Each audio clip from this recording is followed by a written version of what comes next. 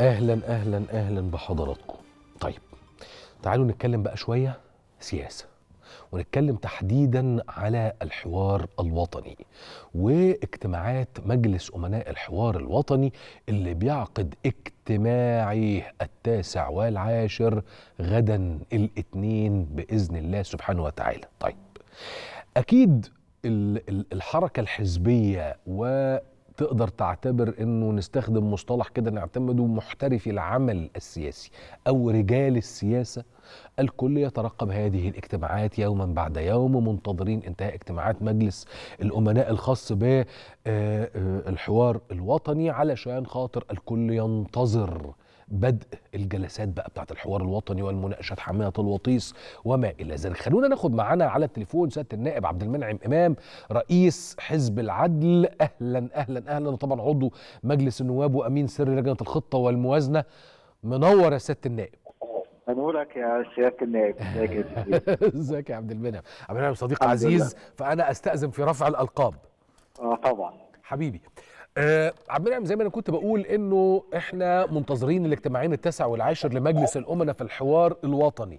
أنت كرئيس حزب وأنت كعضو مجلس نواب بالأساس ماذا انت ماذا تنتظر من الاجتماعين القادمين غدا بإذن الله سبحانه وتعالى؟ يعني أنا أنتظر من الاجتماعين القادمين هو توضيح بقى متى سيبدأ جلسات الحوار واللجان الفرعية هتبدأ بدعوة الأطراف المختلفة ل الحوار وبدء الجلسات إمتى؟ والجزء الثاني هو الموضوعات اللي مطروحة موضوعات النقاش. أعتقد إنه الفترة الماضية كل الأحزاب السياسية سواء كانت على جانب المعارضة أو على جانب الأغلبية يعني عكفت على إعداد ملفاتها في مختلف القضايا. وإحنا منتظرين بدء هذه الجلسات بشكل فعلي عشان نبدأ نطرح وجهات نظرنا ونتناقش بشكل واضح حوالين رسم خريطة لمستقبل العمل السياسي وحتى على مستوى المحاور الاقتصادية والاجتماعية للوصول لما يمكن أن نسميه خطة إصلاح حقيقية للوطن في جميع الملفات. طيب عظيم جدا. يمكن أنا هنا هسأل على حزب العدل بالتحديد وهنا أتحدث مع رئيس الحزب. بالنسبة للحزب أجندة أولوياته أو رأس أجندة الأولويات للمناقشة في الحوار الوطني إيه؟ والله إحنا الحزب اول ما جت الدعوة شكلنا لجنة ل يعني عمل الملفات متعلقة بالحوار الوطني وإحنا جهزنا 22 ملف 22 موضوع. هذه الملفات في الثلاث محاور طبعا في المحور السياسي عندنا الجزء المتعلق بالسياسات والحريات وده في تواصل مع بيه مع أحزاب الحركة المدنية للتصور شامل. لكن إحنا في هذا الجزء تحديدا مركزين على مشروع قانون كامل للأحزاب السياسية جديد. عندنا ما يتعلق بانتخابات المحليات. يعني كنت شرعت قبل كده تقديم مشروعين قانون واحد للإدارة المحلية اللي هي المحافظات وصلاحياتها وغيره والثاني لانتخابات المحليات. فده جزء. عندنا ثاني وجهة نظر في عدد من القوانين منبثقة من استراتيجية قوميه لحقوق الإنسان والمتعلقه طبعا بالحبس الاحتياطي وتعديل بعض مواد قانون الإجراءات الجنائية.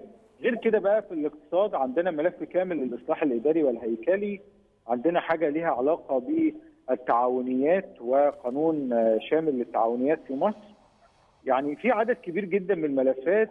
في طبعا في الجزء الاقتصادي وانت عارف دايما يا يوسف أنا مشغول بفكرة الطبقة الوسطى وإزاي يبقى في تمكين ليها بشكل كبير. ففي هذا الإطار إحنا مركزين على عدد من القضايا منها الظهير الصحراوي منها قوانين البناء منها أمور متعلقة بقانون الاستثمار.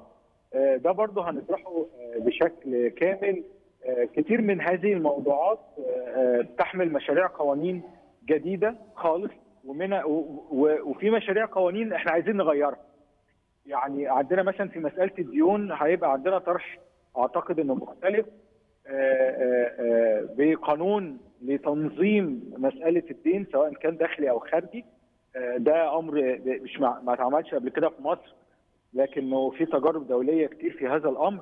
وبالتالي أنت بتحاول إن أنت تتبنى أجندة بعضها تشريعي والبعض الآخر في إجراءات إدارية وتنفيذية. أنا بكلمك على الإصلاح الإداري والهيكلي.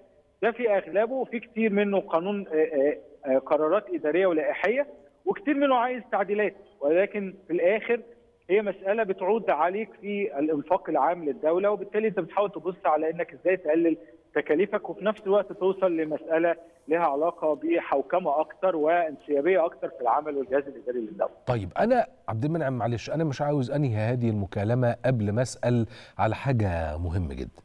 وطالما كنت لافتا جدا يا منعم حول تبنيك لمسألة المحليات وقوانين المحليات من زمان من ساعة ما تعرفنا في 2011. انت قلت انه إحنا جزء من رأس أولويات أو رأس أجندة مناقشتنا كحزب العدل هو إن إحنا عندنا مشروع متكامل لمسألة المحليات. وأكم يا منعم زي ما كنا دايما نقول لك إنه من معضلات وإشكاليات هذا الوطن تحلها المحليات. مشروعكم أبرز نقاطه إيه؟ يعني إحنا ما أحوجنا بيني وبينك إلى هذا القانون ولهذه الانتخابات. مشروعكم أبرز نقاطه إيه؟ أول جزء فيه هو إنه دايما الناس كانت بتتعامل مع المحليات باعتبار إن هي قانون واحد، القانون ده كان مجمع الإدارة المحلية اللي هو الجهاز الحكومي من المحافظ لحد رئيس القرية وانتخابات المحليات في قانون واحد، إحنا شايفين إنه ده ليس مناسبا للمستقبل ففصلنا القانونين. فصلنا المحليات لقانون، قانون للاداره المحلية ينظم صلاحيات المحافظ ونائبه ورؤساء المدن والأحياء لحد القرى وكمان بيوجد أفكار جديدة ل تدبير الموارد بيدي أفكار جديدة لها علاقة بتفعيل اللامركزية لكن بشكل ما يفرغش الدولة وصلاتها ببعضها ما بين المركز والأطراف. عاملين مشروع قانون كامل فيه كلام كبير عن الموارد في كلام كمان عن تجميع الصناديق اللي موجودة في مختلف المحافظات في كلام على إنه المحافظة اللي تنتج أكتر وتعمل إنجازات أكتر يتم إنها تاخد جزء من حصيلة الضرائب العقارية وغيره اللي من محافظتها. يعني في حوافز كبيرة ويعني الحمد لله هذا القانون بمجرد طرحه لاقى استحسان عند كتير حتى منهم ناس داخل القيادات الإدارة المحلية. والثاني هو قانون انتخابات المحليات.